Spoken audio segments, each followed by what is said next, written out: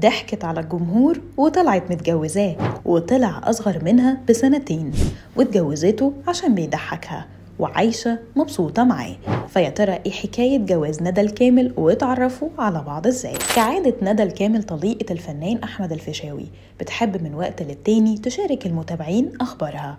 فمن وقت انفصالها عن الفنان أحمد الفيشاوي وهي متفاعلة مع الجمهور على إنستجرام. وطبعا مؤخرا بعد ما أعلنت عن ارتباطها بفنان شاب بقى في أسئلة كتير من الجمهور لندى. عايزين يعرفوا إجابتها لكن ندى فاجأتهم إنها مش بس ارتبطت. لأ دول كمان اتجوزوا وقالت لهم عن سبب جوازهم من بعض فيا ترى إيه الحكاية؟ الموضوع بدأ بتفاعل ندى مع المتابعين من خلال طرحها خاصية توجيه الأسئلة من المتابعين على إنستجرام.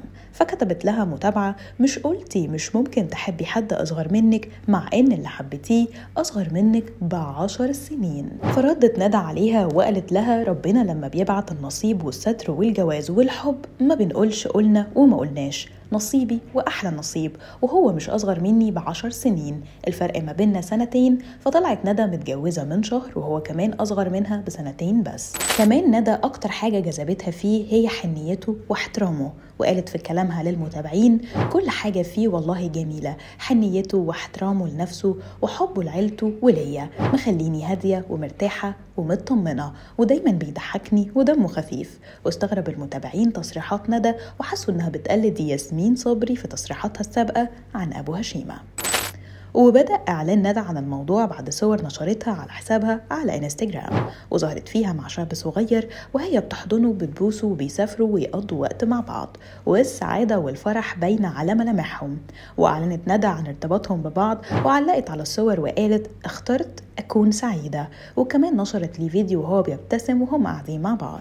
حبيب ندى الكامل الجديد ممثل شاب اسمه أحمد خالد لكنه لسه في بداية مشواره الفني وبياخد أدوار ثانوية لأنه رغم أنه نشر صور كتيرة ليه مع فنانين لكنه مش مشارك في أعمال فنية كتير وشارك في حاجات قليلة جدا زي مشاركته في فيلم مستر أكس مع أحمد فهمي وكمان معاه الجنسية السويسرية. واعتبر المتابعين أن الفنان الشاب أحمد خالد عمل اللي أحمد الفيشاوي وعمر كمال ما قدروش يعملوه لأنهم فشلوا يحتووا ندى الكامل فاستمر جوازها من الفنان أحمد الفيشاوي لكنهم انفصلوا عن بعض من غير ما يقول حد فيهم سبب الانفصال. وكتبت ندى الكامل وقتها عن انفصالهم من امرأة قلبها اتهلك وانطفى.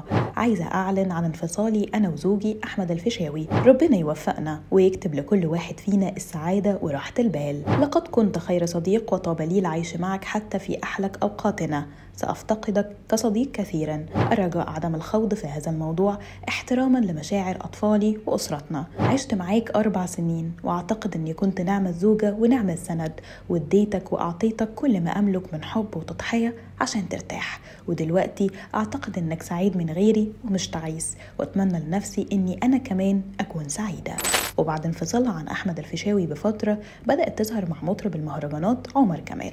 وطلع عليهم إشاعات إنهم مرتبطين لكن نفت الإشاعات دي وأكدت إنها مش مرتبطة بيه. والظاهر إن ندى وقتها انجذبت للممثل الشاب أحمد خالد وحاليا متجوزين وعايشة سعيدة. فيا ترى ندى هتلاقي السعادة اللي بتدور عليها؟